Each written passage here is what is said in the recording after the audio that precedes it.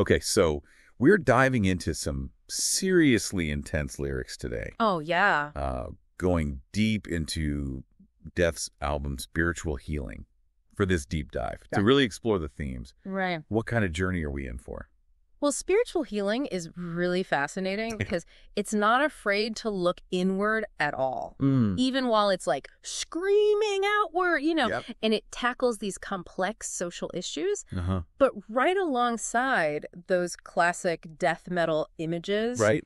this isn't just about gore and horror, Yeah. even if at the surface level it seems that way. Yeah, just even the song titles themselves Oh, totally. really hit you hard like living monstrosity, altering the future, defensive personalities. yeah. yeah. Just reading those, you get a sense of like Yeah. the serious tone of this album. Absolutely. And the lyrics live up to those titles for Yeah. sure. Right? Living Monstrosity, for instance, uses such intense, almost physical language. Okay. It's like it puts you right in the experience of drug addiction and its impact on newborns. It- Yeah. It, forces you to confront a very, very painful situation. It almost feels like a deliberate choice to juxtapose something Yeah. so sensitive like that with such intense music. Well, what I think is so fascinating is how death manages to present Okay. different perspectives on these really, really tough issues. Okay. all within this incredibly intense musical style, you know. Yeah, So yeah. for example, in Living Monstrosity, Uh. you have these back-to-back lines. Okay. Some say she's naive, she's a stupid bitch, and then right after, What? some say to forgive, guilty, she should die.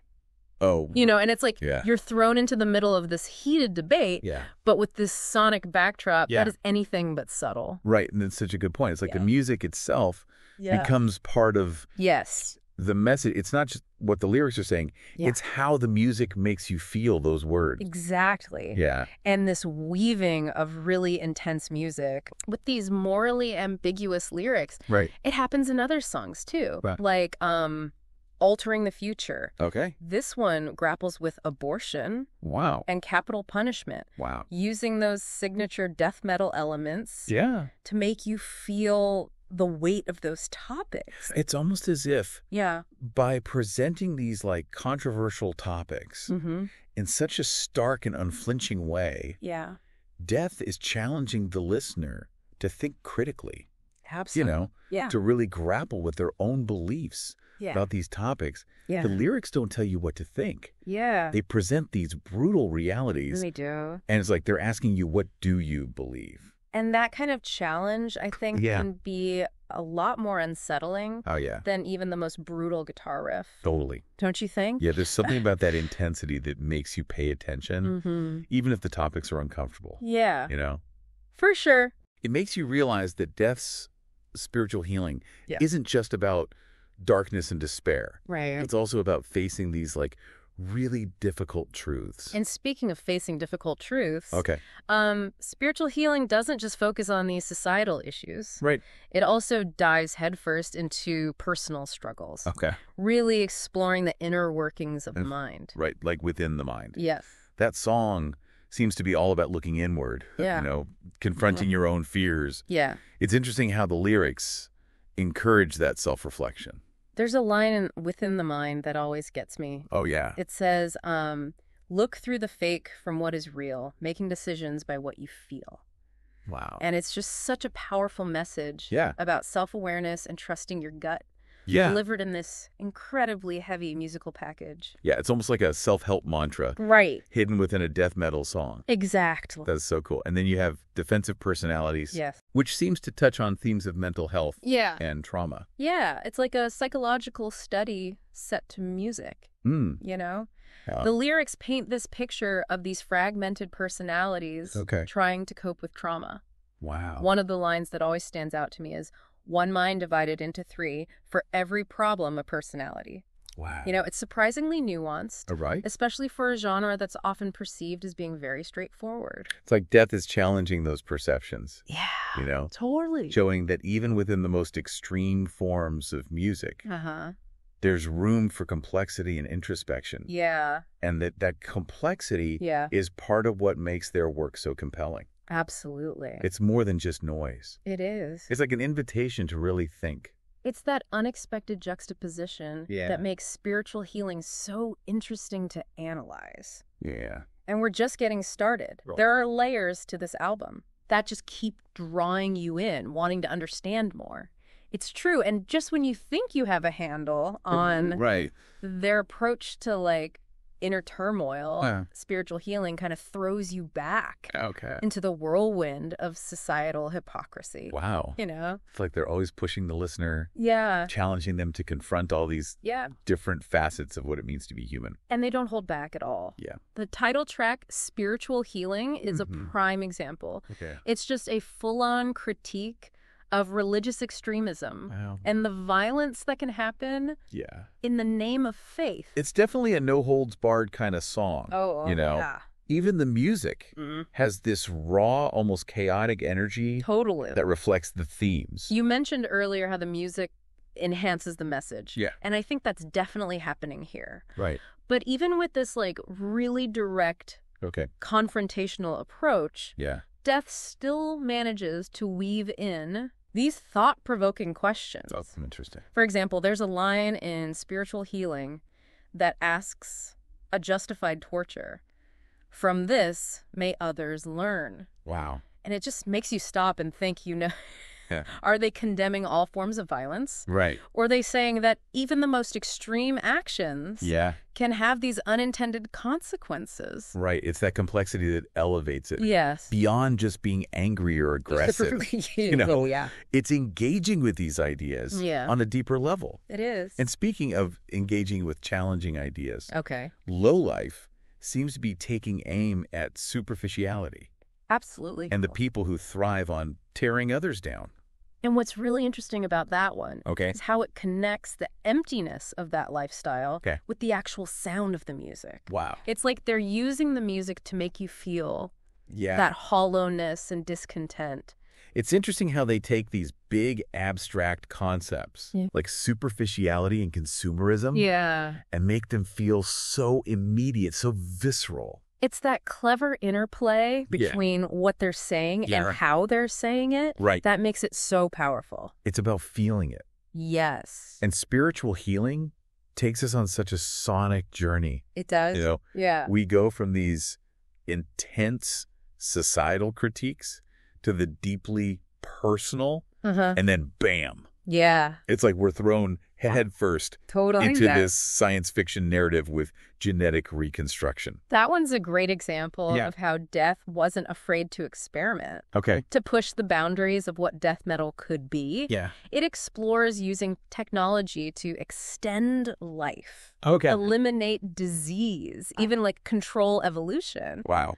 But it's definitely not presented as some kind of utopia. Right. It has that classic sci-fi element of be careful what you wish for. Exactly. Like, are we really better off manipulating our very essence, yeah. even if it means we could conquer disease? Mm. Or extend life. And the lyrics definitely reflect that cautionary tone. Okay. For instance, you have lines like Yeah. replacing what is real by using technology Oh.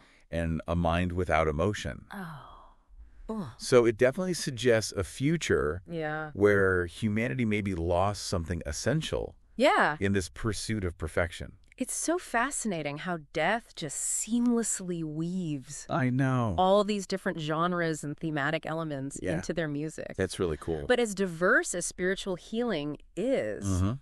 It always seems to come back to that central tension we talked about earlier the Oh. juxtaposition of brutality and introspection. it's that tension yeah. that gives the album its power, Hmm. its ability to really make you think Yeah. and challenge assumptions. And just when you think you've got a handle on that tension, Right. spiritual healing throws one final curveball Oh, with killing spree, Oh, yeah. taking us deep into the mind of a killer. It's a powerful ending. To a powerful album. Yeah. It's this chilling portrait Yeah. of someone who's on edge, Right. ready to just unleash everything Yeah. on the world. There's something about the way they describe Yeah, the killer state of mind Mhm. that's almost sympathetic.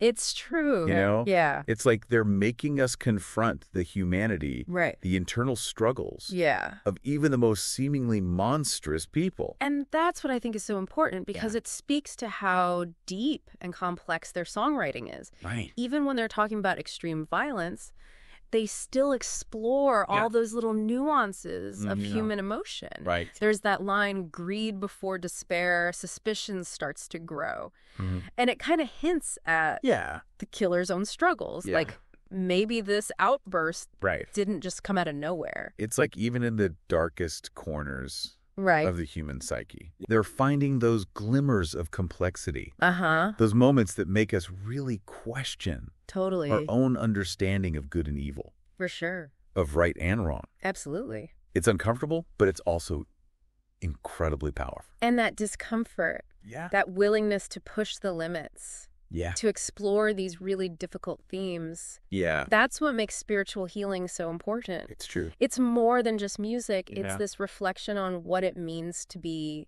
human, Wow. you know, Yeah. in all its messy, complicated glory. It's amazing how spiritual healing can be so unsettling, Yeah. but also so thought provoking at the same time. totally. We've gone from these societal critiques Yeah. to like deeply personal struggles. Uh-huh. We even just touched on science fiction. I know, right? and then we ended up in the mind of a killer. It's quite a journey. It really is. Packed into one album. And all within this framework of death metal. I know. It's incredible. It speaks to the band's creativity. oh, yeah. And Chuck Schuldiner's ability to like yeah. channel all these complex ideas Uh huh. into such a powerful musical expression. It's like they just completely shattered right. what people thought death metal could be. Yeah. You know, they proved that even the most extreme music Right. can have this deeper meaning, Totally something that makes you think. And that's why it's still such an important album. Absolutely. And not just within death metal, yeah. but within metal as a whole. yeah, it pushed those boundaries Yeah. and really paved the way for other bands to explore these themes. It's inspiring in a way. It is. It reminds us that you don't have to shy away from these difficult topics. Yeah. Even if it's a little uncomfortable, Right. sometimes the most powerful art Yeah. comes from confronting those uncomfortable truths. Exactly. And that's what death does so well Yeah. on spiritual healing. Right. They're not afraid to ask those tough questions. Yeah. even when there's not an easy answer. And they do it all while creating this incredibly powerful, Totally. moving sonic experience. So as we get to the end of our deep dive here, Okay. what would you say is like yeah, the most important thing for listeners to take away? Hmm. That's a good question. Yeah. I think the biggest takeaway is that art can be found in the most unexpected places. That's true. And sometimes the most brutal exterior Yeah. hides these incredible depths. And Yeah. spiritual healing is a perfect example. Right, yeah. You know? Yeah. It's a challenging album, It is. but it's so rewarding. it reminds us to never judge a book by its cover Totally. or an album by its genre. Right. You know, Yeah, there's always more than meets the eye, there is. or in this case, the ear. And sometimes those are the best discoveries. Right. The ones where we're surprised. Yeah, Those are the ones that lead to really profound experiences. totally. So, if you're listening to spiritual healing, Yeah. pay attention to those moments. The ones that really make you think. Right. The ones that make you uncomfortable. The ones that stay with you Right. long after the music is over. Because those are the moments that really matter. Exactly. You know, the Yeah. ones that remind us of the power of art For sure. to challenge us, Yeah. provoke us, Yeah. and to ultimately make us really feel something. And on that note, yeah, this has been quite the deep dive. it has. We've explored some heavy stuff today, yeah, we did. grappled with some really tough questions, Yeah. and hopefully come away with a deeper understanding of this album. It's a powerful one. It is. Well, until next time, Oh, keep oh, those minds open, Yes. those ears tuned, Keep listening and never be afraid to explore the darkness. because you never know what you might find.